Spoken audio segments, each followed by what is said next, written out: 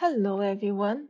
I just published a GVDS new template and I want to make a short video to show you how you can use them. Maybe Robert will make a better video for you later on, but I just want to make something quick because I know a lot of you are starting sprinting on Monday and you're waiting on the template. So I just want to make a video very quickly for you. So to access the template, first thing you need to be a member of Robert's amazing workspace. And if you don't see this little template menu on the left navigation, the chances that you're not. If that is the case for you, then you need to ask Robert about it. And I don't have any control of that. But if you can access the template, then you can click on it and on the second tab bar, then you will see the first row here are all the new templates. And yes, they will be in night mode.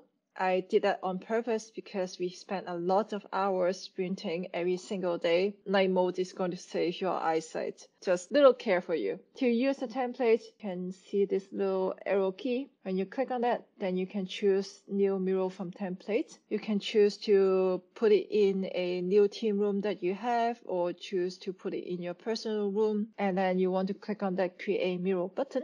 Once you create a mural, first thing you want to is rename that. So um, I'll just say my team name.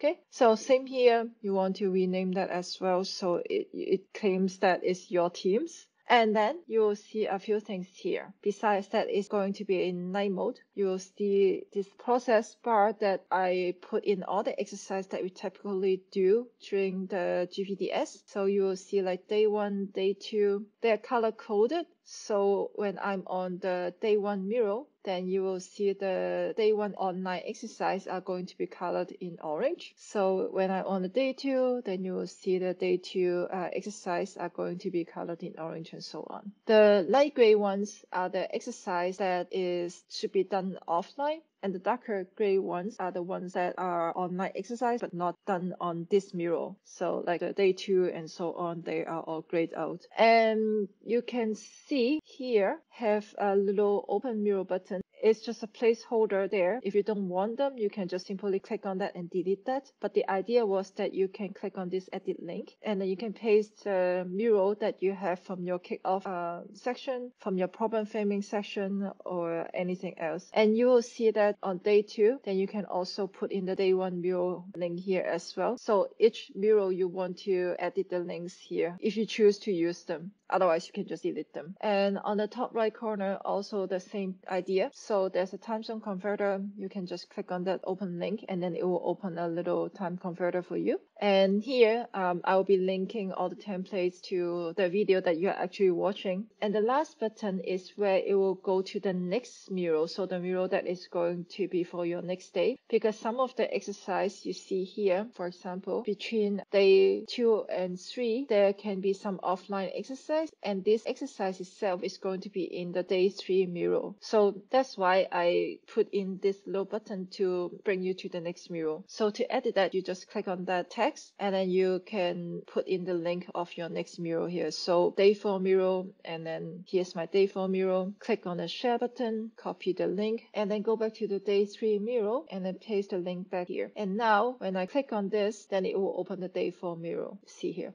So that's the idea. Um, if you don't want to use it, you can just delete them. And to unlock anything here, you can just right click and unlock a certain item, or you can hold down the shift command key. And then now even the items are locked, you can still select them. And then when you right click, then you can unlock selection that way. And you can see on the mural itself, it doesn't have much instructions. So I have put all the instruction actually on the outline. And when you click on it, then you'll see all the step-by-step -step guide. What I have done also is is I added some links. So in case you want to watch a video about that particular exercise, you can also find them here. And one thing that I want to point out is that when you go to the day five mural, uh, on the outline there, on the instruction there, you will see that little link at the bottom. Actually, when you open that, it will give you some concrete examples of how to do user testing. So even have like a step-by-step -step guide and some examples of uh, the post that how you can send out to recruit user testers. You may not need to worry about that for now, but when you get to the day five, just keep in mind that it's there.